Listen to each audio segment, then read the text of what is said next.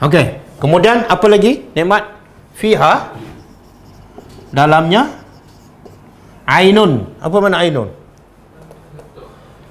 Ha? Mata air. Mata air ni sebenarnya adalah sungai eh? Jariah. Jariah apa dia? Yang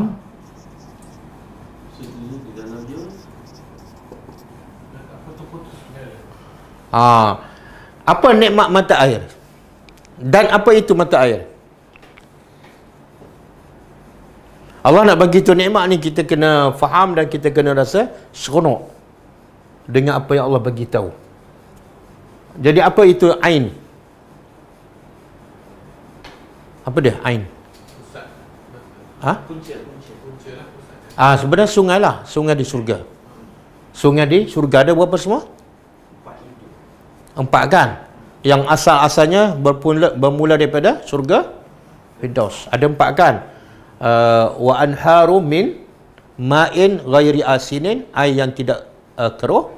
Yang kedua wa min uh, wa anharu min labanin lam yataghayyar ta'mu daripada la, uh, susu yang tak berubah rasanya. Yang ketiga wa anharun min khamrin lazzatin lisyaribin daripada arak yang lazat. Bukan memeningkan bukan memabukkan tapi melazatkan. Dan yang keempat min asalin musaffa daripada madu yang diproses. Dan empat-empat sungai ni sentiasa mengalir. Apa nikmat dalam perkataan mengalir? Setiap perkataan ni adalah nikmat. Apa nikmat dalam perkataan jariah? Ha? Satu tak putus bila sentiasa mengalir tak putus. Yang kedua? Ha? Sentiasa bersih.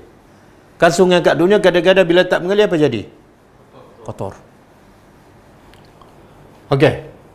Dan perlu tak kita bersihkan sungai ni? Tak perlu. اقرأ كتاب الله ترق جنانه وتنل عظيم